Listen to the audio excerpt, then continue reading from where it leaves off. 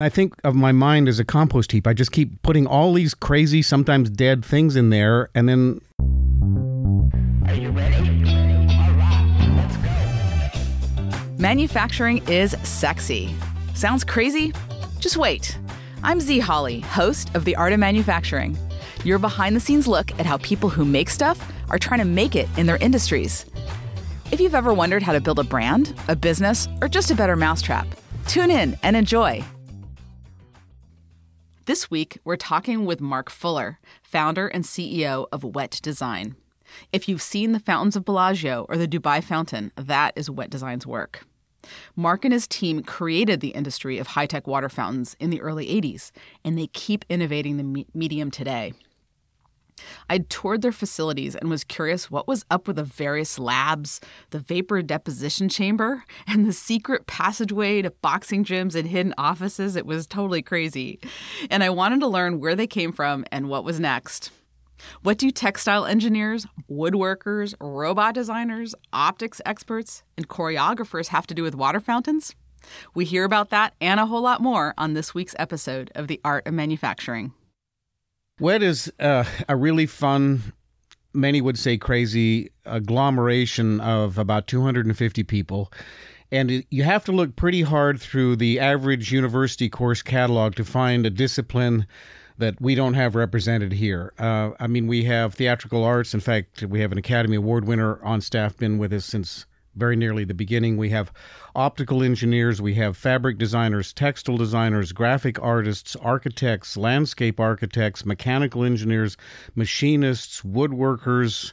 I'll take a deep breath. A gym trainer. well, we're gonna we're gonna And ask you about on. that one later because that one is a really wild one.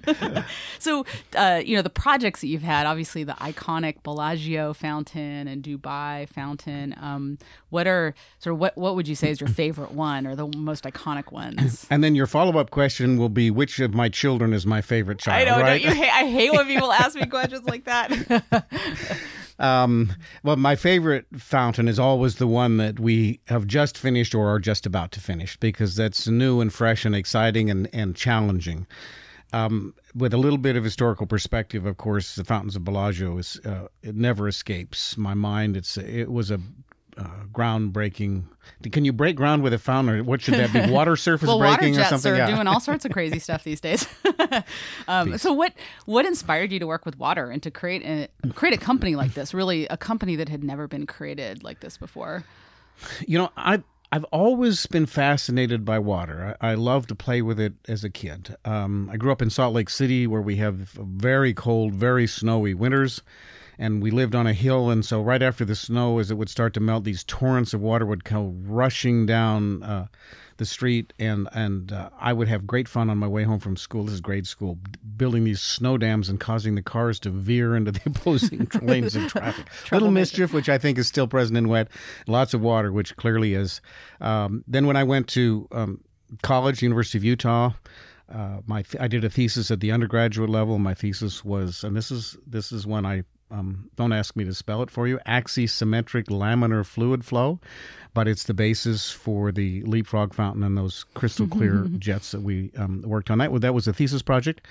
And when I went to Stanford for my master's degree, uh, that also was based around fluids and water. So it's something that's just, uh, I'm afraid to cut myself. It might not be blood that comes out. It might, might be clear water. I don't know. So, tell me about what prepared you for this then, because um, it is really not uh, something that's been that was done before. So, how did you how did you get there?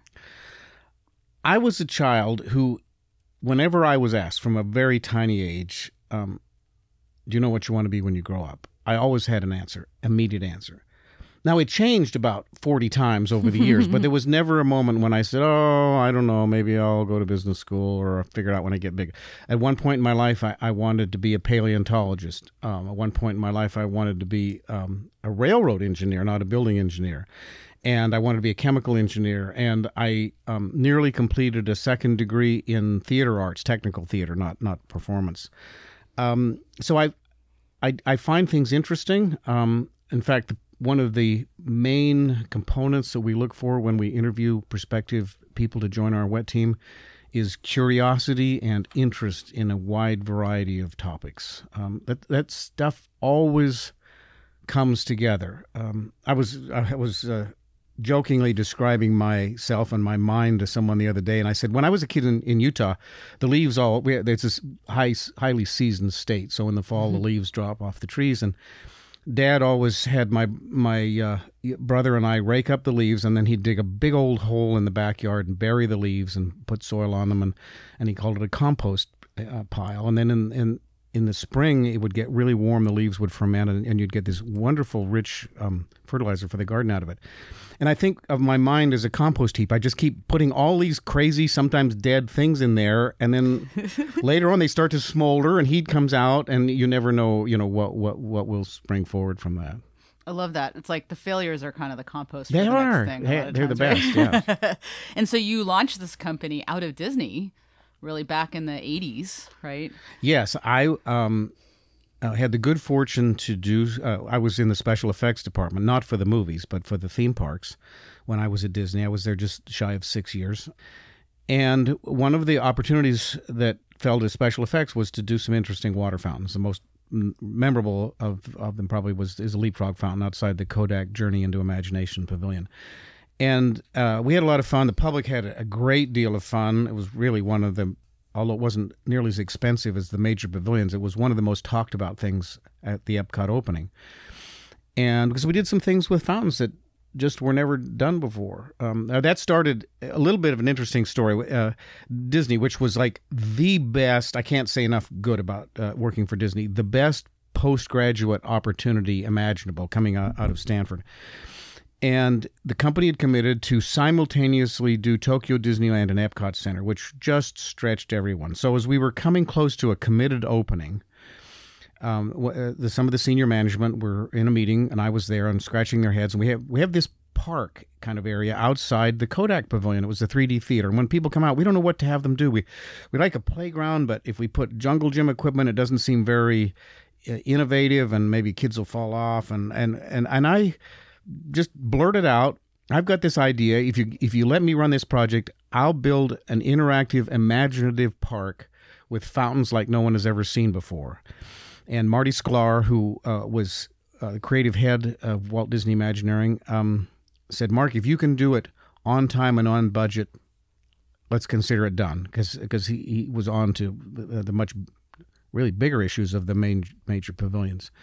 And we did it. We we opened the leapfrog fountain, which is those clear streams of water that jump around, and and part of our self prescribed mission to make these fountains different was we said we're going to have no bodies of water, no ponds. These fountains will come right out of the gardens, and we're going to make these the water elements not look like fountains, but we're going to give them a personality. And of course, we were in and amongst all the great Disney animators and so forth. So they were able to program the the water elements with with personalities, just like you see in you know as a, in an animated character in a film. And then we did the pop jets, these little tiny marbles of water. I mean, that whole fountain, all the water in the air at any given time wouldn't half fill uh, the coffee cup I have here. And there's a personality in those. And then we did a, another fountain called the jellyfish. And then we did a waterfall, but we called it the upside down waterfall. The water runs up the face of the waterfall. And we had a lot of fun. Um, we had some crazy near misses, which um, we almost didn't make it a few times. And when we opened it, uh, it really set a a new description of what fountains of the then 20th century were like. Really cool. And then you decided to spin it out. You you could do it. You you, couldn't do it within Disney, or you didn't want to do it within Disney. Well, I was uh, a, a very happy Disney employee there, um, and uh, of course, with those two projects open, everyone was kind of relaxing. There was uh, some cutbacks in staff and so forth, and so we were doing, uh, I guess you'd say, follow up and, and cleanup activities. But the phones would start to ring, and calls would, would come back to me typically like from a developer you know developing a shopping center or, or some kind of project and say wow we've just seen that fountain we'd like to talk to the person who did it uh, and, I'd immediately cut them off and, and say uh, well that was my team but um, we only work for Disney and one very persuasive gentleman, I well remember his name, Tom Gaffney, was working for Criswell Development out of Dallas. And he said, No, Mark, we are doing a massive project uh, by the architect I.M. Full city block. And the name of the project is Fountain Place. With that name, we have to have something spectacular. He said, Can I fly you out here? Is there any way you could moonlight or consult for us? So I grabbed a couple of my colleagues there in the special effects group, and we got permission from Disney. Um, and we flew out there, and we started moonlighting, and we designed that fountain. And then later, that um, we we exited Disney on, on great terms, and have since consulted back to them. But we started our own little company. Uh, our test lab was my kitchen sink. Um, Our finance department consisted of my running up 13 credit cards to their limit, and Alan and Melanie, my two partners, and I not taking a salary for about three months. So, any aspiring entrepreneurs, there's a kickoff plan for you. Bellagio fountains have to ask about that. I mean, that really was the iconic fountain that you created. Uh, well, the, of course, the, the downside of, of starting at such a literally impoverished level was the, the you know sort of the hockey puck curve of growth that you you do. We we grew a little and and um, financed ourselves, bootstrapped. Uh, I think they call it. And the, we had a number of really interesting larger opportunities along the way, which were great fountains. We did the Tokyo Dome Stadium uh, in Japan and, and so forth. But I, I would say the the major turning point was when uh, Mr. Wynn, Steve Wynn, contacted us through his landscape architect Don Brinkerhoff and, and laid out his vision. He flew my wife Susan and I up for dinner and and described as, as only Steve Wynn can do. Uh, it makes it real before your eyes. His vision of the Bellagio Hotel and most especially the lake out front. He said, Mark, I want people here to not think they're in Las Vegas. I want them to lose themselves entirely from the environment. I want the people on the street to enjoy this. They don't have to be necessarily in my property. And I feel it should be driven by music and it should be like something no one has ever seen before. And it should be the biggest thing that you imagine you'll ever do in your life. Uh, what do you think?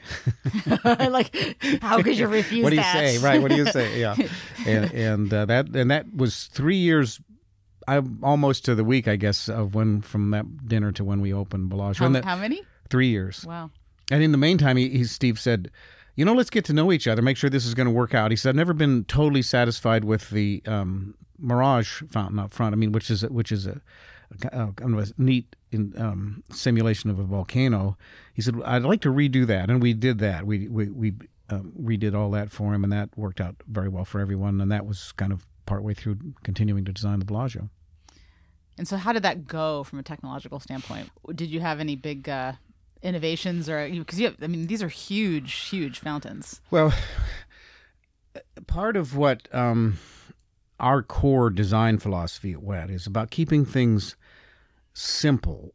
I mean, you you see a lot of, and there were musical fountains, you know, when I was a kid, even, but they're they're kind of like one of these jets and two of those, and kind of like a chocolate box sampler, a little of this and a little of that, and and no real feeling to them, and for that reason, they all pretty much look alike.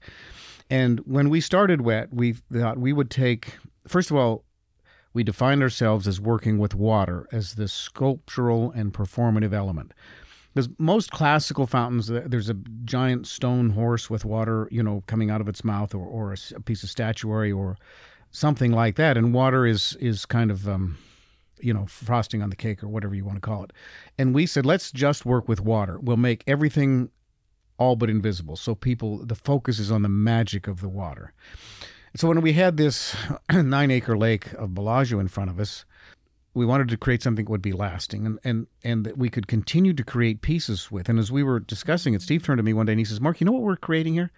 We're creating the world's largest musical instrument. Piano's got 88 keys. We have like over a thousand different keys, if you want to call them that, in terms of visual expressions that we can work with music to do that. So we kept it very simple. There's a, those of you who've seen it, a big arc sweeping across it and three um, areas of circles. And so from that, and when you look at it, you think this is boring, but uh, uh, so is a piano, piano keyboard, right? It's boring. It's a black and white keys all in a row. How creative is that? But it it's that basic, primitive, essential building block elements. Um, I mean, the periodic table is boring, right? Just by, you know, a hundred plus a few uh, things, and everything in life and in, in the It's universe is made of them.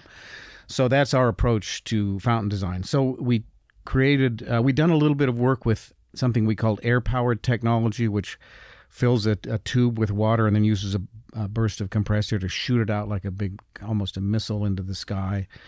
That's a very staccato expression. And so, where is the legato? And for that, we decided, uh, and this scared a lot of us to death. We had to do an underwater robot that would move around in with all of the grace and so forth that you'd want, you know, in, in conducting a visual uh, symphony. And and so we immediately started looking at industrial robots, and you see them all the time, right? The the robots that paint cars on a on a Ford or General Motors commercial or do the welding, but they go from point A to point B as efficiently as possible, and they're anything but graceful and anything but um, something that that you would uh, blend with with a theatrical performance. So we had on our staff at the time uh, a woman who had been in training for the astronaut program, PhD, brilliant person. She put together a team of in-house and outside people, and we created a program called Virtual Wet, which would enable us to simulate on a computer screen um, in 3D exactly how every particle of water would perform, whether the wind would blow it, and how gravity would affect it, and light, and so forth and uh, and then it would spit out these like gazillion lines of computer code that would control all these jets. Um, we did this all a number 15, 18 years ago, so the computers were a little slower then, to say the least. And we ended up with the Bellagio. We we invited some uh, exceptional choreographers, uh, Kenny Ortega, whom uh, everyone knows from Michael Jackson fame and, and his great movies and, and television series. And uh, he choreographed a number of the pieces with us. And he said, Mark, this is like working. uh, He's, I can get comedy, I can get humor, I can get dramatic uh, gestures out of your water jets as though I were working with a cast of, of live dancers. He says, This is just amazing. And Kenny's continued, to continue to work with us on a number of projects since. So tell me more about the technology. So how how do you actually make these things work? Well, let me tell you, uh, if you think a robot is complicated, and they are, try sticking one underwater. okay. but most of these things aren't robots, right? I mean, are they mainly nozzles? You invented this nozzle. Um, what's what's the key behind making it work? Well, when we started Wet, and this is something uh, probably a little known secret, but, but our initial ambition was we weren't going to make any equipment. Actually, I don't, I don't know where we had this idea, but it seemed like, well, that's sort of, uh, I don't know, dirty or beneath us. We're going to create these fantastic visions and, and, and uh, you know, beautiful gestures, and then we'll just subcontract out the equipment and have it built. Um, and that was great for less than a year because we thought, well, if only somebody made a gizmo that did this, ah, but they don't. If only somebody, and we so we kept ba- immediately banging our heads with the limits of known fountain technology, and we try to adapt some industrial technology and stuff. So quickly, we we put together a group of in-house engineers, and and uh, that later grew to in-house manufacturing.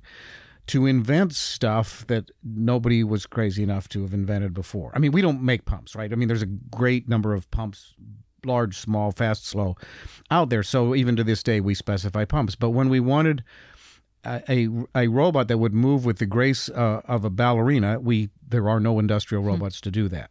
So um, we worked with a state of the art robotics company, uh, Sarcos, out of Utah at the time, to collaborate because we were small, and so we created what we wanted it to do, and they engineered and, and built those. And we now have gone many generations beyond that and engineer and, and build them in house. Um, but the the vertical jets, let me let me go back to that for a minute because they're they're so simple and so really magnificent. You you um, I mean, if you if you suck water into a drinking straw and then tip your head straight up and then go, you know, blow it out, you you there's a little puff of air from your cheeks, so it blows this water out. So we we took a tube, a pipe, and we put it in the water, and the bottom end's open, and so the pipe just is at the top of the pipe's at the water level, and so gurgle gurgle, the whole pipe fills with water. Uh, Bellagio is about 13 feet deep in its deepest point, so you got this pipe you know, say say six inches in diameter and 13 feet long, and it's full of water. And then we put this little flapper valve on the bottom that's a check valve, it, so water can come in. It's like a heart valve if you've seen the uh, illustration of those, and then it and then it shuts. And then we burst a, a big blast of compressed air in near the bottom, and it can't go out the bottom, so it pushes the water all out of the top if you put the air in really slowly, like fizzing, the air would fizz out. But when you blow it in at high pressure, it forms kind of a balloon and just lifts the water out of the top. And the wonderful thing about this is uh, if you think of conventional fountains with, with miles of pipe and electric underwater motors and all the energy it consumes, all we're doing is a little a little compressed air and a pipe with a fancy valve on the bottom. So we were able to put a thousand plus of these jets in there for very reasonable costs, not only in installation, but in terms of operation. Um, actually, that technology uses less than 20%, less than one fifth of the energy that if we'd have tried to do the same thing with conventional fountain technology. And um, flashing back to my, my college days in civil engineering, which in those days really encompassed environmental engineering, and I've always been um, very taken and interested in that, and in how to conserve power and, and water in the work that we do. Um, and so I, we were really proud of ourselves. Here's a fountain that's spectacular and large and very conservative on uh, energy. Uh, the latest figure I've heard from the Bellagio folks, and if you've seen one of those musical shows, there's I don't know thousands of ten thousand or something people out there, and they use about fifty dollars worth of electricity to produce that entire show. Really? Yeah, isn't that amazing? That's crazy. yeah, that's a And few years ago. Maybe it's maybe it's fifty five today. I don't know, but it's the water Like too. People probably are like, "Oh, well, you're in the desert. Why are you using all this water?" Yeah, Oh, and that was so interesting because if you remember what was there before, it was the Dunes Golf Course. And we looked up the figures. The the water that they used to irrigate the Dunes Golf Course is more than the water we use in that fountain. I mean, the only water we have to put in is whatever a little bit's evaporated every day, right? Once it's filled. And how many how many foursomes can play through on an 18 hole golf course in, in a day? Not very many people, and we've got, like I say, tens of thousands out there enjoying that for less water usage than was used to irrigate hmm. that golf course. And then we got I, I think r- rather clever with the building engineers. When when you build a, a big hotel like that, and they had three thousand rooms on opening day, you have to be able to put out any kind of a fire real fast. So you have to have this massive amount of water in giant tanks or something. And we got with the fire control engineers, and we just used that lake. We cross plumbed it. So if there's a fire, that wa- that is the fire protection body of water. So Amazing. it- it's pumped up there. So it's dual use, so the practical side and the inspirational side both. That's very cool. You're listening to The Art of Manufacturing. Join the conversation on social at We Make It in LA and our Facebook group, makeitinla.org slash community. We'll be right back after this break. The Art of Manufacturing podcast is a collaboration with Make It in LA, which is generously supported by organizations like the LA Cleantech Incubator. LACI has a really cool facility in the Arts District of downtown LA filled with energetic startups and nonprofits. They offer cleantech startups flexible office space, epic prototyping labs, and the number one rated cleantech incubation program in the world. Learn more at makeitinla.org slash LACI. We're speaking with Mark Fuller, the creator of iconic water features like the Fountains of Bellagio and the Cauldron for the Salt Lake City Olympic Games. so we're approaching uh, the opening of the Bellagio. It's in front of the hotel. This is not some little thing that can open late.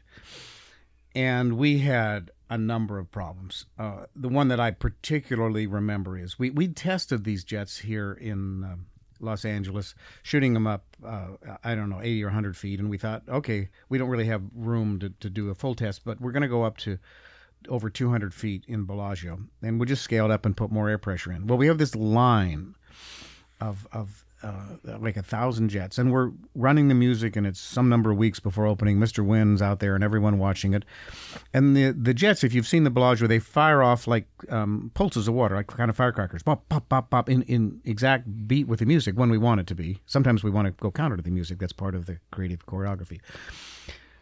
But what you don't want is for them to just stick open and sputter, like you know, if, if, like somebody just goes. I don't know how that comes across on the mic, but that's that's how these things look when that valve sticks open. They just blow water and and and uh, uh, I guess the medical term is sputum on a grand scale up on the top of the surface. And partway through, one of these would stick, and then uh, uh, uh, you know, half an hour later, another one would stick. And we assumed, oh my gosh, it's a brand new fountain. Pipes are new and everything. There's probably sand or grit or something from the welding guys that's gotten in there and, and clogged the valve. So uh, the the water was very warm. It was it was summer. It's like swimming pool temperature, and so we'd send our divers out. They'd go to the bottom of this 13 foot lake, uh, take out the valve, bring it up to the surface. We'd put it on the bench by the side of the lake, carefully take it apart, inspect it. Nothing was wrong. No dirt, nothing. Put it back together, take it in the lake, works great, and then it doesn't. So after you know 10 or 20 successful fires, it, it starts to misbehave again. Well, this was driving us crazy. Mr. Wynn was looking at me like, "We are going to get this fixed by opening, Mark, right?" Well, so how many how many days or weeks Oh. do you have? Like, like I, this is this is I I less than a month. I don't remember. Some I mean, this is we're down to the line. We're like Oh my we're choreographing. I, we're actually weeks because we're uh, creating the music. Kenny Ortega's out there, and we got these these misbehaving jets, which really stand out uh, um, and, and ruin the show. So I had gotten to know uh, when, years earlier um, some gentlemen at Caltech in the fluid mechanics uh, department there in engineering, and brought them in and said, "What what what can be going on there?" And they ran a thermodynamic analysis and said, and I'll refer here to if anybody's ever taken a, a, a spray can of anything, paint, hairspray, anything like that, and if you just hold the button down for a while, the can gets cold the in your hand. Bernoulli effect. Yeah, yeah, it, it go. expands, right? And Yep. and it's in and as the air expands, Drop it sucks energy out and it gets mm-hmm. cold. Well, this high pressure air that to now go 20 stories high that we were using there is it is it ripped through this little control valve underwater it expanded and got exceptionally cold and what would happen is that just the humidity and, and las vegas is not terribly humid but the humidity in that air would actually build up an ice ball in the middle of that valve so Crazy. after 10 or 20 shots its throat was was frozen solid it would stick open and and then misbehave and then it would melt, and there was no yeah, there's no, no, evidence. right? Like uh, the Edgar Allan Poe story of the, the murder committed with an ice you know, uh, uh, ice dagger, and it melts before the cops come.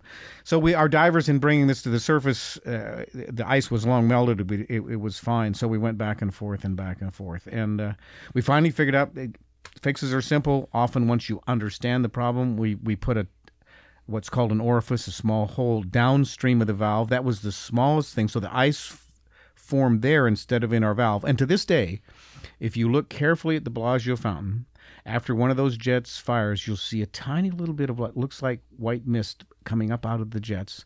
Those are tiny ice crystals, but Wow. they're formed now where they can't cause us our problems. Very, very cool and scary. Wow, down to the wire. Down What's to the- and then you don't even wire. know what's going on. Down to the Oh my god. So, uh, looking back, I mean, that was that was a while ago that you did that, and it still really uh, feels very cutting edge. And I'm wondering what you see are the trends that you're excited about, or the future of the technology for these types of. Because you, you I saw an amazing tour of a lot of the things that you're working on, and behind the scenes fire and all sorts of crazy lot of stuff. crazy stuff. So, what can you talk about? well, um, your your point about the Bellagio still being classic, and, and we look for all of our pieces to be classic because if you tie to a to a trend, I mean, if you you know look at how cell phones have evolved, and you look at some of the ones that first came out, they're they're almost laughable. uh, Ones that were a few years ago because they're so about the technology. We're about the experience. Um, nobody laughs at the Statue of Liberty and says, "What a ridiculous piece of old technology they used to make that," right? Um, or, or or or a great movie or a great novel.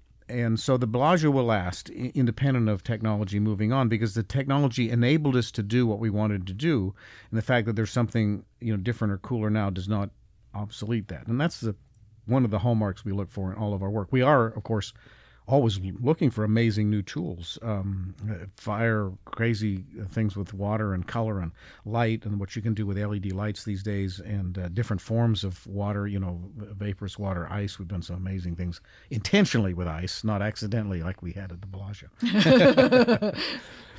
So my I, when I was a kid, my dad did a lot of these laser light shows and you know water some some water integrate with them and uh, he used to put do these experiments in our backyard in our swimming pool. And so I grew up with those sorts of things. And so he he was very excited that we were going to chat. And he said he was just curious if you had integrated any lasers and other you know what are what are you excited about around the lighting of these installations? We typically um, don't use lasers a lot in our work, um, and we, we did a lot when I was at Disney, and, and, and they're they're great when they have uh, a purpose.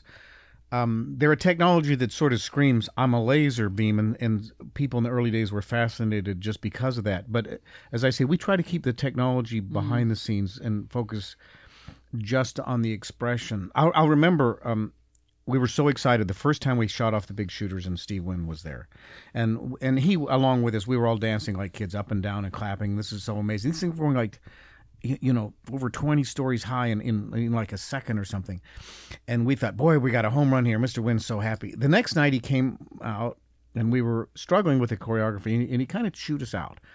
And I thought, well, this is a downer. You were so happy last night. And he, he said, guys, this may be the tallest fountain today. People will beat that. That's a technology feat. Hmm. We have to create an art piece here, a performance piece that you nobody says this movie is better than one that Hitchcock made or anything like that, right? So uh, that was a valuable one of many lessons I learned from Mr. Wynn. That's Uh, interesting. So he actually kind of drove that some he- of that he- philosophy. He, oh, he's he's an incredibly creative uh, a person, and and doesn't get stuck on on on whatever the the techno tricks are that enable it. They're just there to you know to enable the the, the magical expression. And what I think is really interesting. A lot of times when people think about manufacturing, they think about it being mass produced, something that's mass produced. But what you're doing is you're really every single one is custom. Would you consider that manufacturing?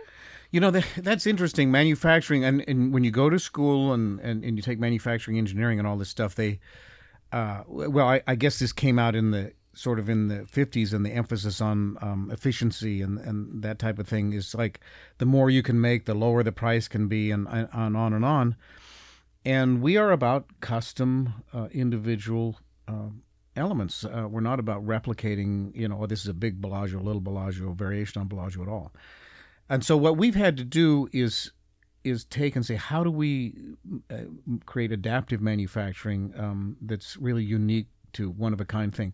And and other companies are now doing somewhat similar like Nike, you know, you can sort of design your one of a kind shoes and have it built as opposed to just picking some catalog things, right? And and, and other companies too. It's but it really flies in the face of of uh, the most of the early 20th century thoughts on manufacturing. Um, I tell my kids uh, especially when they were younger and loved to play with Legos, you, you know, you could there's a certain number of standard Lego blocks, and you can stack them in all sorts of different ways. You can make a castle, you can make a race car, you can make a robot. But generally, whenever you buy another kit of Legos, there's a few new parts you never saw before.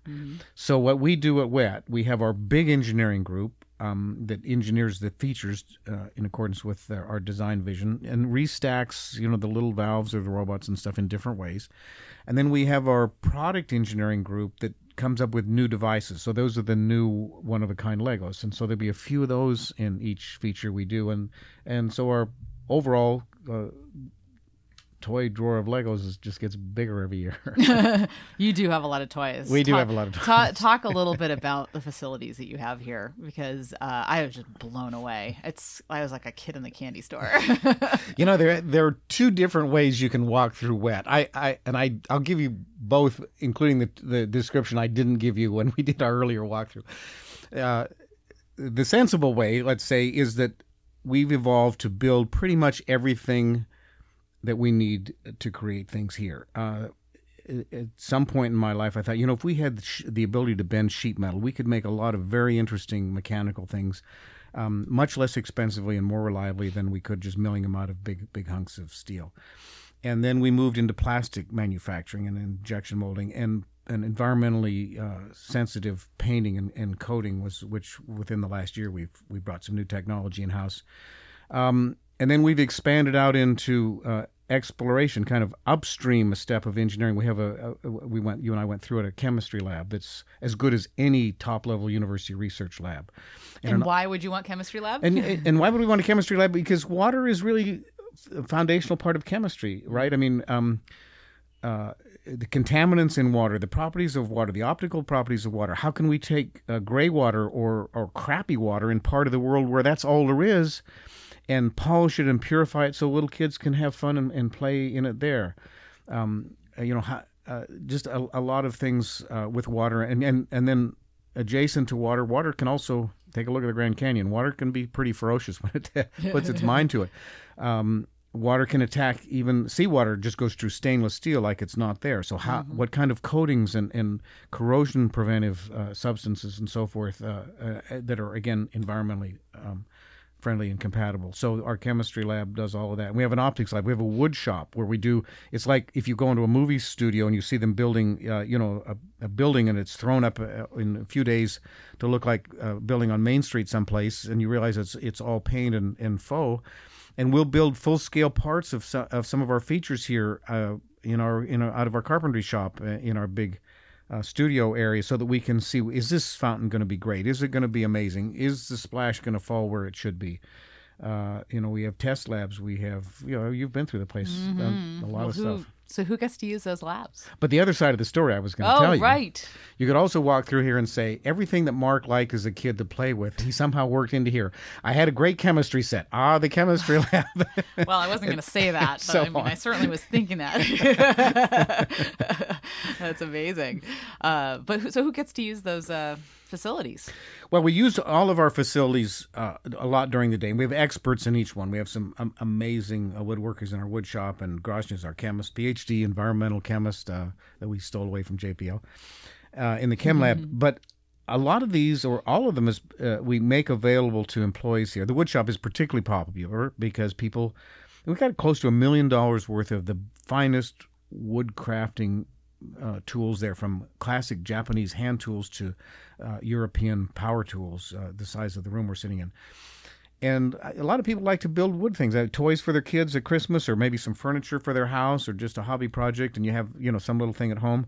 But you go through our safety class here, and and George teaches you the f- you know fundamentals of using these tools, and you come in on the evening or weekend or whatever, and that's at your that's at your disposal. So, So fun. Google has their foosball court, but they don't have a wood shop for employees. like Yeah. Tell me. So that's one thing that's so inspiring to me, and I think really resonates with me is your philosophy around building teams and inspiring creativity in your teams. You have such a diversity on your team and in your company. Uh, could you talk a bit about, like, if you were to teach entrepreneurs out there, what are the top key elements of building really creative teams and a creative company culture? Boy, that's such a, a, a powerful and deep and in some ways vexing question. And it's not, there's no pat answer. Over the years, I've you've I've seen at least one of my libraries, and I, I'm a voracious reader, including business books. And you know, do you want a matrix management or or siloed management or project team management and so so forth. And I, I think all those are, are kind of um, variations on the core idea that you need really great people who have to have the following attributes. When when we hire someone, we look for um, someone who's smart. I, I don't know how to. You, you can just sense it. I suppose. Uh, although we don't do this, I you could say IQ if you were to test somebody. But by that I mean just somebody who is is uh, is a thinker and considers things and, and looks at things and is curious about what's in life. And you can't teach that. You, people seem to be born with that or, or not. And then um, we look for passion and commitment. Uh, passion being enthusiasm, and commitment being uh, the extension of that into into follow through. Um, we like to have some experience and some knowledge, but actually, that's the one thing that you continue to gain over life. I don't think you gain passion and commitment, and I don't think you get, you get smarter as you get older. But um, you can continue to add to your body of, of experience and knowledge. So those aspects we know we can teach here if we find the the other ones. So that's how we tend to screen people, along with where they culture fits, and and to us that means, um, do they do they start everything with yeah we can do that, and then figure out how. As opposed to, well, I don't know, this might go wrong and that might go wrong, and I'll get back to you with a study of things. Um, and I'm am- amazed at how many folks. Uh, I don't know if it's the, the society we live in or just uh, an odd characteristic of human nature, but it, we weed out an awful lot of people just on that. That they they just don't start with "I can do it" because that gets you past so many barriers um, that would otherwise stop you. So true. I was thinking though the other day that think that there's two different ways people deal with uncertainty. Either they say, I can do it, I'm going to do it, and just set these really high Yeah. expectations. And then there's also the setting the expectations. I find myself doing that occasionally where I don't want, um, I actually am more likely to take a chance if I set the bar low and I say, you know what, the, the stakes are not that high. You know, but maybe I don't do it, but let me try. And there's definitely different ways of approaching that uncertainty. And uh, maybe it's just that it's that side coming out where they're like, well, I don't want to, um, I don't want to scare myself. you know, what what happens if I can't do it, right? Yeah, no, absolutely. And and one of my professors, Bob McKim at Stanford, my my Uh, advisor actually, he said you always want when you you get a first idea. He says that's your ace up your sleeve. That's you're safe. You know you can come back to that. Feel good about that. Now expose yourself to some risk and look for hmm. some you know, some other ways to do it because you, in your heart of hearts, you know you can always come back. You're not like, oh my gosh, I'm going to fail. So try to get that safety card figured out, and then you're much more comfortable uh, failing or trying uh, more dangerous. But it things. is really funny how we often, once we get that first idea or the safety card, we just everything is a variation on that first idea. So how do you break people out of that rut? um, we have a game we play where somebody says, "This is my idea," and, and we know they're in love with it and stuff, and we say, "Ah, guess what? Somebody else patented that. We can't use that at all. now, what are you going to do?" Uh, not necessarily that that's true, but you have to just say, for some exclusionary reason, uh, or we just found out that's going to kill people or whatever. But for some reason, we can't do that. So Funny you should say that though. My very first startup, we had an invention and somebody had patented it, and Ah, and see, we ended happen. up. We, we were very discouraged for about a month, maybe three weeks, and then we said, "Wait a minute, maybe we can patent around it." And it turns out that our new idea was much, Much better, than the first one. How great is that? Uh, but if you hadn't, if you just continued forward with that, you know, Right. you would have had the, Yeah, the second best idea. Absolutely. Um, so it's it's really it's it's really important to um, So you hire well, but that's not enough, right? I mean, what? But now? Now you have these amazing people. I think a lot of times amazing people are really hard to manage. Um, they are. We. I have a, a, a colleague, a friend that uh, I went to college with at Stanford. David Kelley founded IDEO. Oh, yeah. The you know the the great firm. David's so so bright. Um, and he said to me once, he says, you know, when I formed IDEO, he says you always hear about, you know, you can't be friendly with the people you work with. You got to have that workplace home and uh, boundary uh, because otherwise, how are you going to discipline somebody if you you know if you if you're friends with them too? And David said, "You know, I just I wanted to get a bunch of my friends together, and we wanted to work together as friends too." And so he said, "We just tossed that, you know, old paradigm out, out the window." And and he says, "We started IDEO with with a bunch of us who were friends and maintained that." And that's really spilled over here. Um, and and we encourage that. Uh, I mean, one of the areas that, that I walked you through the other day was our gym. Right, we've got some uh, actually several gyms scattered around our our uh, campus here. And when you go into the gym, whether it's me as CEO or the CFO or somebody from the shop or or a sketch artist or or, or whatever, everybody's the same sort of sweating and oh, I'm not sure if I can lift that weight or, or, you know giving out on the lunges or something. And it's a great equalizer. And we do a, a lot of fun uh, company events where where management everybody kind of gets silly together, dresses up, or or does different things. Uh, and so the the the you, you leave your rank at the door here an awful lot. Uh, the only people that I lose patience with a lot here are people that are um, af- afraid to push back on me. I don't mean people should be rude, them to me or me to them or anything, but it. But you want somebody to say, "Excuse me, can I can I suggest something different? I, I think I got a better idea, or maybe we ought to look at this differently." And we have really healthy discussions. And I forget I'm the boss; they forget I'm the boss. I think, and we all hammer it out, and, and um, it works. Yeah, I agree with that. I want pushback because Yeah, then yeah. because then I don't feel like I can put because if I I want to be able to say how about this idea and you don't want everyone to think oh that's great because you're the boss and then you don't feel like you can you know throw your idea in the ring. Absolutely. So yeah, definitely. Okay, so we have to talk about this gym. Okay.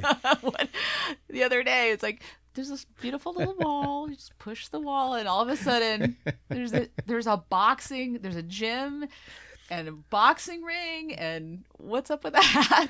Well, I was never a, an athletic kid growing up, um, and at some point or other, I just um, decided at this point in life, you know, I had to, work a little bit on my health um, because I'm not going to be like a kid forever. And there was a gym across the street, a, a, a public gym, and I went over there, and there was a, a, a boxing coach in a boxing ring, and uh, Jesse was teaching the classes, an older fellow, and he reminded me of my grandfather my grandfather, um, who fought under the name of uh, Frankie Smithers, he fought in the Golden Gloves um, fights in Utah. And uh, he always wanted to teach me to box as a kid, and I was a little nerd. And I, ah, Gramps, I don't want to do that. So I sadly never put on the, his gloves. But I guess a little bit of nostalgia and a little bit of that, and so I got in the ring a few times, and it was so fun. I mean, and in three minutes you can it's like cardio that, you know you can go around the block or spend forever on some running machine it's great exercise so we we we decided well instead of having everybody go across the street and work and stuff we we had a little warehouse um, building here we built first one little gym and then another, and, and one of them's a boxing gym. Uh, ours is a little different. You know, when you hear the word ring, that sort of means round to me, and all the boxing rings you see are square. So that makes sense to my simple mind. So we have w- one of the world's few round boxing rings. I think. Other than that, it's pretty classic. And uh, Alec does boxing classes. They're really popular with with the female and male employees alike here. And we do weight training and we do all sorts of things. We have a hip hop class. And again, it's people get together, and we. If it isn't a fun place to work, if we're not how can we expect people to have fun with what we create if we're not having fun in the process of creating it? You have a very diverse background. I mean, tell tell me a little bit about the your education. Um, I've always been curious and, and liked to read and flipped around on what I wanted to be. I had a bunch of wonderful ideas I threw my myself into, but um, so I finished high school with a bunch of AP credits and probably could have gotten through college in less than four years. I actually took five full years to graduate with a, a bachelor's degree, uh, not because I'm, I'm slow witted, but because there's so many classes I found that were interesting. Um, you know, as a civil engineer, you have to take three quarters of physics. I took 12. You're crazy. and I got to pick because the, the, now you they're not requirements. This looks interesting. I'd like to learn about uh, you know solid state optics, or I'd like to learn about something like this. And um, I wanted to learn a little more about design, so I took the basic design series from the School of Architecture. Um, I love this was University of U- Utah. University of Utah. I I love theater, so I uh, and I'm actually I think just a few credits short of actually having a, a, a bachelor's degree in, theater. Oh, and really? Technical theater, because I took so many classes from history of theater to scenic painting and special effects and uh, theatrical makeup and and, and uh, lighting design. I paid through part of my uh, tuition by doing lighting design and and um, running the sound in the theater and a lot of I was in the honors program, which gave us these great small classes in liberal arts and Western Civ and all that stuff. Um, and all those things, interestingly enough, have come together. I, and I, I, I tell people all the time, especially kids in college, don't ever think there's a class that you won't somehow use. Um, Steve Jobs gave a, a great talk when he um, his commencement speech at Stanford, and he talked about connecting the dots. And connecting the dots is really important various disparate things but that's that's step three. Step two is collecting the dots Yeah. because if you don't have dots in your head you can't connect them right so and step one is is and this is where curiosity comes in looking for the dots to collect so um I- I think people get carried away in this age of specialization, thinking, well, I'm going to get a PhD in something and be the world's expert on the sort of narrowest slice of this. And that's great for learning and discovery. But I think invention and, and creation comes less from a depth of knowledge than it does from different disparate areas of knowledge that have never bumped into each other before coming together. And uh, that's what we do here. I mean we you know where else would you be at a lunch table and and have a textile designer sitting next to an optical engineer and just you know sharing ideas about maybe surfaces and how they reflect light and so forth? And next thing you know we've, we've got a different lens array for one of our illumination instruments Do you have something that you're really excited about that you're working on right now that you can share? um Something different? why did you have to spoil that by saying which you could share? Because I have Oh, I a whole bunch of exciting stuff um, that we're doing, and it's some of it is just extending, um, taking uh, like like the Bellagio. I said has a thousand plus jets. We're we're working on a fountain that has over ten thousand individual jets. So it's like creating, uh, you, know, uh, like this television set that's in the room with us here, you know, g- gazillions of pixels, and think of what we'll be able to do on that. And again, one of them can't stick open, right? So the reliability engineering that's going into that is phenomenal. Um, we we do uh, because it's it's one of uh, the really f- primitive elements that that's um, on our planet, fire, along with water, and we're combining those in ways where the water actually looks like it is on fire itself. Um, Thanks that- for letting me stick my hand in that. Oh, that was it- quite you've unique. seen that. You've seen that in that mock-up, right? Yeah, it's great. And and and I think that that pulls back to my, my crazy theater background that I took as a civil engineer because in every great play or story you have an antagonist and a protagonist, you know, and and what greater antagonist to water is there than fire? I mean, you think of them as absolute opposites. So Right. that we That's we, cool. we you know we seek out that theatricality. It's so funny. You're the secret uh, secretive nature of this, it just really d- reminds me of Disney too, because I've had many people that, many friends that worked at Disney and they've they could never talk about what they were doing and it was really frustrating. Uh, but that was must have been a big leap for you because you civil engineer, you were a civil engineer. You go from that to Disney. That's a very different world. Well, I shocked my my my dear parents with that one because I uh, graduated in civil engineering, ap- applied to a number of grad schools, and chose Stanford in civil engineering, of course, for a master's degree. And we were uh, packed all my belongings in our family car. We were, uh, I think, I think poor is is the most direct uh, uh, word uh, relative to most of uh, the lives we live today in this country. And so we were driving across the salt flats, headed to Reno, and then up to, to to Stanford. And partway across that desert, I said, "Dad, I've been thinking about it. I don't think I want to be a civil engineer anymore." And you know, he's undoubtedly thinking, "Oh, this tuition that we've you, you know we've got a foot and everything." And he said, "Why?" And I said, "Well, Dad, as a civil engineer, your goal is that everything you build." Doesn't move. I mean, civil engineers build bridges, skyscrapers. Like God, heaven help us if one of those you know falls over, moves in some way. And I, I like moving things. I love things that, that, that are animated and, and and move around. So I, I I'm going to see if I can switch to mechanical engineering. And my folks were supportive, and I went to the dean of the College of Engineering, and he said, "What are your GREs?" And they were, he's up with, you can do whatever you want. So I switched into um, mechanical engineering and was looking at what what to go into because uh, as a place like Stanford, that's pretty high tech. And and the dean said there's this one little crazy department we have we call product design. He says the rest of us engineers don't really understand it because it's it's fifty percent in the College of Engineering and fifty percent in the College of Fine Arts.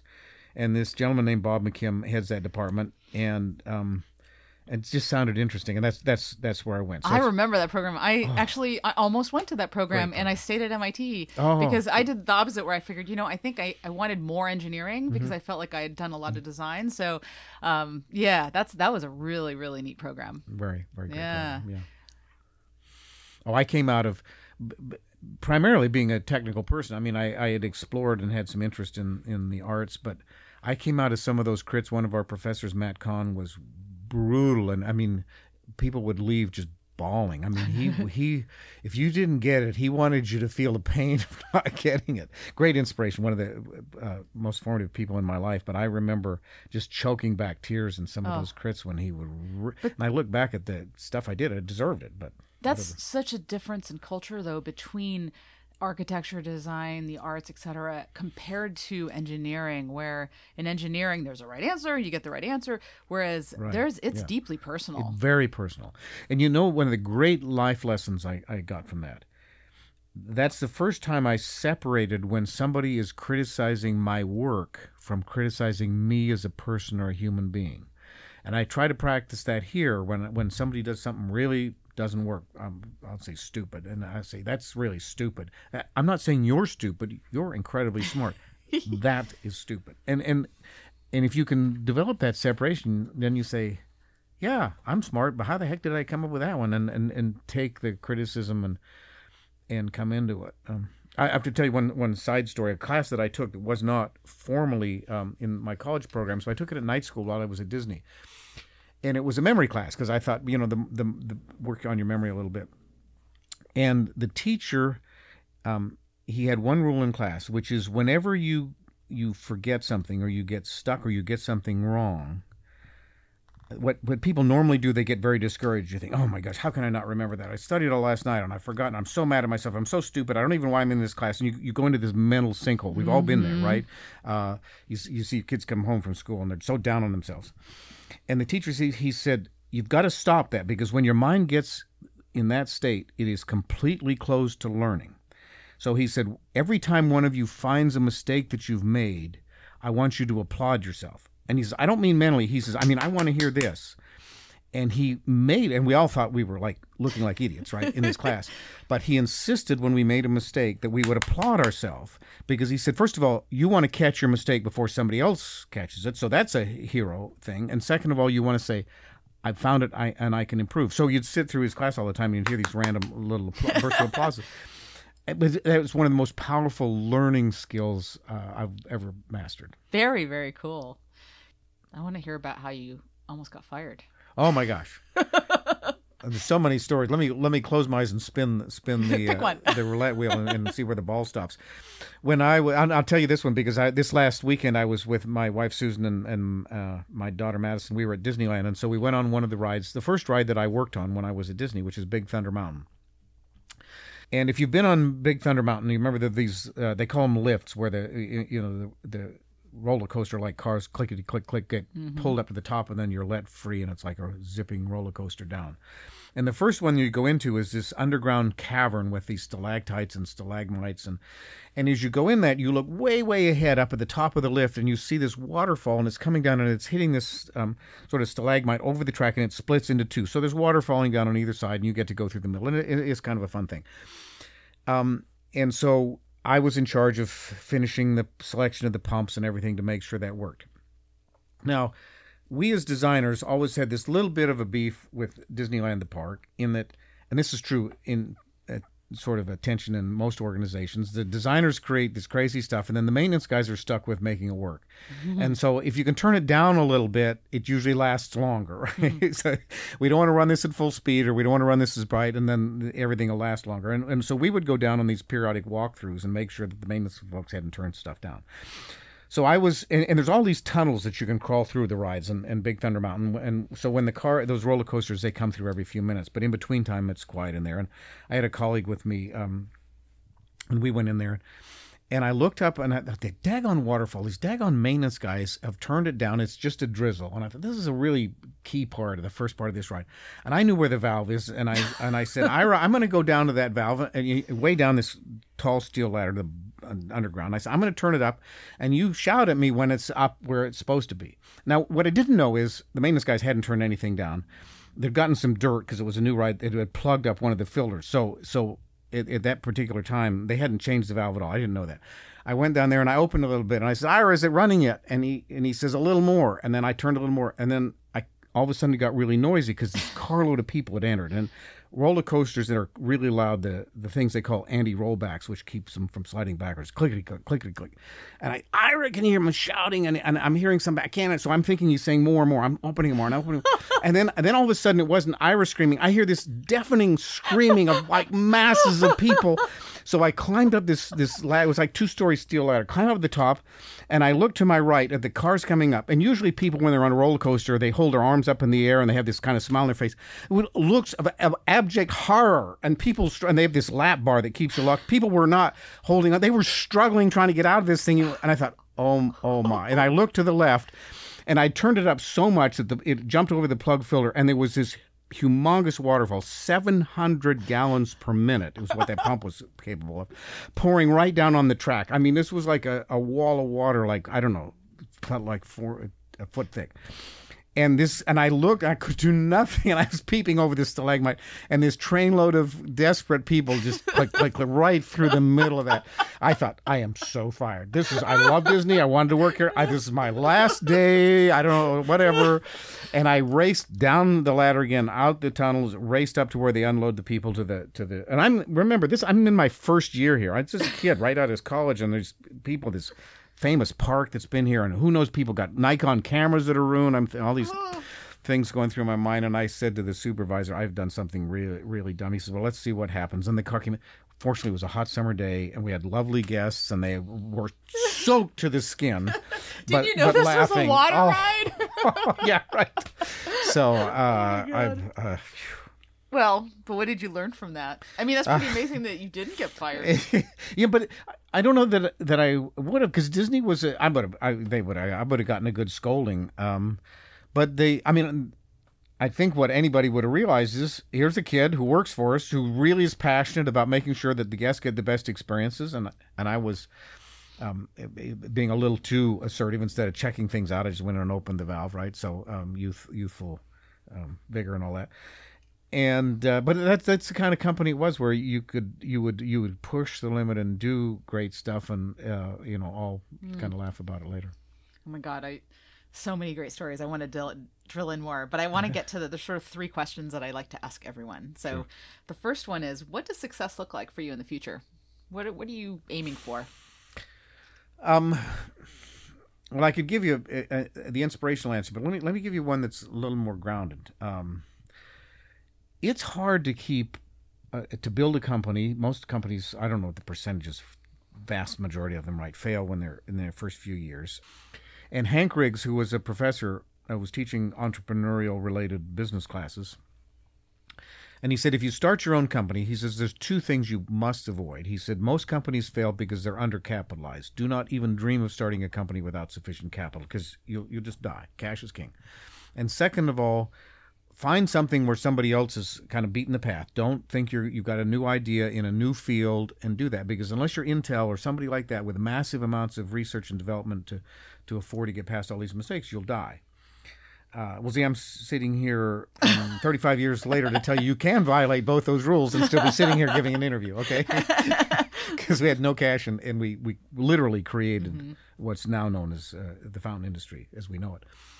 Um, but it's it hasn't been without its bumps along the way. We certainly felt it in the 2008-9 financial recession and, and you know various other things along the way. Um, and and it isn't like you're a part of uh, you know uh, General Motors or something, and you just call up corporate and say, "Whoops, I made a mistake. and you wire me another ten million dollars, you know, to cover payroll or something?" Uh, we we've always just been self funded and and making our own money. So, um, I I just put that out there that you, you, you don't want to be afraid to try, but you, you you really need to focus on developing your ideas and, and your market and, and surviving. I, I finished an interesting book by a gentleman named uh, Taleb, T A L E B, uh, brilliant mm-hmm. guy, and he wrote a book called Black Swan. You may have mm-hmm. read it, and he and he talks about crises that hit everybody, nations, uh, down to individuals in their personal life and everything in between companies. And you really cannot predict in the world when when uh, what he calls a black swan, which is the potentially enormous surprise mm-hmm. negative hits happen. Yeah. So we're we've been pretty doggone good 35 years at, at um, you know bouncing around in that. But in answer to your question, um, we have some I think really smart ideas. I wish I'd have had a couple decades ago about building a more um, uh, Taleb calls it anti-fragile side of the company that that isn't as vulnerable to the ups and downs because they take the fun out of it. You know, you're doing all this great stuff and innovating and stuff, and then suddenly there's a huge worldwide recession and and uh, we have an incredible amount of intellectual property patents. I, I look at my uh, bill from our patent attorney sometimes um, scares me, but uh, that's just a hallmark of the innovation that happens here at WET, and it's it's really great um, to do wonderful giant projects, and and they're accessible to everybody. I mean, you can stand at the Bellagio fountain. I'm very proud of this, and you can be standing next to Rupert Murdoch on your left and and a homeless person on your right, and they're both enjoying the same thing. Mm-hmm. You don't charge to see a WET mm-hmm. feature. It's it is. I don't know what other kind of universal entertainment is available mm-hmm. that somebody isn't saying, you know, give me a credit card. I think we're really unique in that mm-hmm. aspect because we do these projects for people like Mr. Wynn who realizes the value they bring to his property and then they help him make more money and he's he's brilliant in that respect. So um, I would say the clients we work for are, are all brilliant in that respect. But we're going to take and democratize that even further be, and bring some of the magic that we're able to do with the elements. And I, and I, and I won't um, spoil your your future uh, mm-hmm. experience or unveilings with a lot of detail, but bringing this into things that, that are accessible to people to bring into their homes. Mm-hmm. And that gives us a, a much broader base uh, as opposed to, like I say, the the, the uh, vagaries of sometimes the real estate and development market, but also continues what has been my mission since forming this company, which is to make the wonder and magic and beauty and delight of of the one true wonderful element on the planet, water, um, to everybody. I love that. So then, what keeps you up at night the most? what are you the most uh, worried about? um, there isn't there isn't any one particular thing. I, as as the founder and owner, uh, you, you, know, I I consider myself a pretty responsible person. So I've got my kids and wife to take care of, and then I've got all these hundreds and hundreds of families here, and then I've got our clients who are depending on when I say me, I mean my uh, the whole team, but it feels very personal to me to deliver a, an amazing experience uh, every time because they're trusting me with a bunch of money. Mm-hmm. And uh, the you know the front door of their properties in, in most cases, and so um, I'll keep thinking, what are we going to do? to Make sure this is absolutely fantastic, absolutely fantastic. Now, what is this is the last question? Is what is the one thing you wish you had known before you started that you might want to share with other entrepreneurs? Um, don't break those two rules. Even though you did. no, I did. No, if we if we had, uh, you know, and I, and I I own this place, right? I mean, it's it's not like we've got investors and I have to worry about Wall Street quarterly reports, and that's a great deal of of freedom.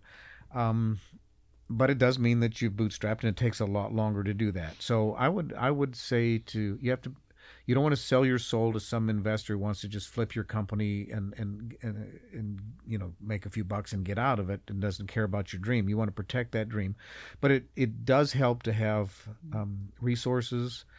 And uh, I, I probably would have picked a, a, a marketing person as a as a founding partner. uh, Um, when, when I was putting together my first few group of, of friends because it's it's all about um, I mean I, I think I'm pretty good at, at going out and, and presenting uh, to our clients and, and I enjoy doing it but you can't do everything. Right. and we have a fabulous uh, uh, um, Teresa Powell head of our business development and her team here now.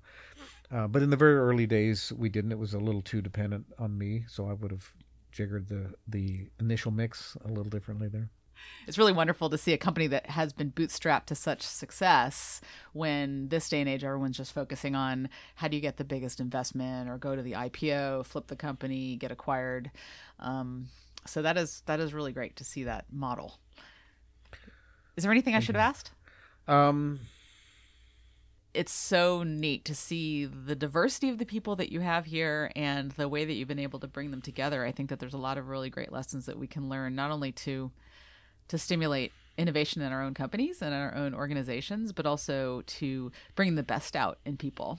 So it's just really great to see that. Yeah, it, you know, this is the longest time I've sat probably in my office or part of my office in, in an age. I do. People say, "What do you do?" I say, "I walk around all day." You know, and because people tend to form their own, even in a small company like this, their own little groups, and the key is to just um, constantly stir people up. Did you talk to Charlie over? Did you know somebody with- in that other department is tinkering with something that might be helpful to you? No, I didn't know that. But, uh, and it surprises me sometimes that a company even as small as ours, but it's it still takes the, the chef still get, has to stir the batter. Yeah. right, right, right. And you're pulling for such a great base here too. So we just have such a diversity in we the city as well. That's a great thing about LA. Yeah. Well, thank you so much for your time. Thank you, Z. It's been really fun. I just love Mark's philosophy around how to build a culture of innovation. I think the three most useful lessons were first, diversity of thought is critical to nurturing a creative culture. Mark's company hires everyone from textile engineers and robot designers to woodworkers and choreographers. Second, despite the team's diversity, his team members must all have certain things in common to make the cut, like curiosity, commitment, and a positive attitude. Skills and knowledge are important too, but that's the easiest to train for later. Finally, don't just hire well, give your team good tools to keep learning. It doesn't necessarily mean a million dollars in the finest woodworking tools or a million dollar vapor deposition chamber. Most importantly, it means giving them the training to have confidence and to play a part. The way WET has regular workshops and encourages everyone, even the receptionist, to roll up their sleeves and make things builds a culture where everyone can contribute their ideas. Oh, and one more thing if you almost drown a train full of Disneyland guests, admit your mistake as quickly as possible and hope for the best. You might just get away with it. Time to wrap it up for the art of manufacturing. Tune in next Thursday when we meet Jesse Genet of Lumi and learn how she's reinventing packaging in this new era of direct to consumer retail. Visit makeitinla.org for show notes and to stay in the loop about events, news, and resources. To chat with other like minded manufacturing entrepreneurs, join our Facebook discussion group at makeitinla.org/slash community. Never miss an episode. Subscribe on iTunes, Google Play Music, or your favorite player. And if you like the show, do us a big favor and leave us a review. Or send us a message with feedback and ideas on Twitter at We This podcast is produced by At Large and Dangerous in collaboration with the Make It in LA initiative and other partners. A big shout out to Peter Brandenburg, the producer and audio engineer, and our content coordinator, Heidi Carrion. Thanks for listening to The Art of Manufacturing. I'm Z Holly, and remember, don't just make it, make it.